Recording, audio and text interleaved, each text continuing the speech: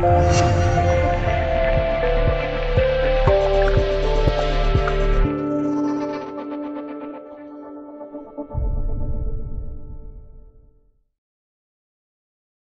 月二十三日，周一，农历六月十一，今天是大暑节气。此时正值初伏之末，中国大部分地区为一年最热时期。干支组合未戊戌年己未月丙辰日，节气变化之际，不宜举大事，宜静心修德位上。从干支组合上使伤泄身过重，也不宜盲目进攻。在这样干支作用关系下，今天哪些属相吉利呢？首先，申猴吉利，大暑之际。为土司权，土旺金相，为土中暗藏吉土，且透于天干。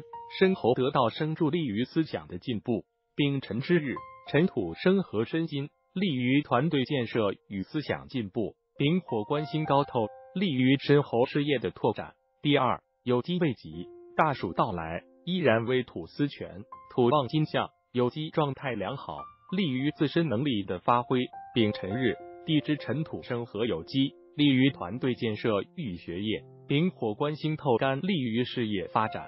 第三，子鼠中吉，丙辰日，因辰中含有癸水，为湿土之象，暗中生主子鼠，且子鼠与辰龙相合，利于事业的发展。天干未丙火，利于个人的财运与事业发展。注：本文提前一天发布，欢迎关注我的微信公众号。d o n g f a n g y i x i a n g，一起品味原汁原味的周易。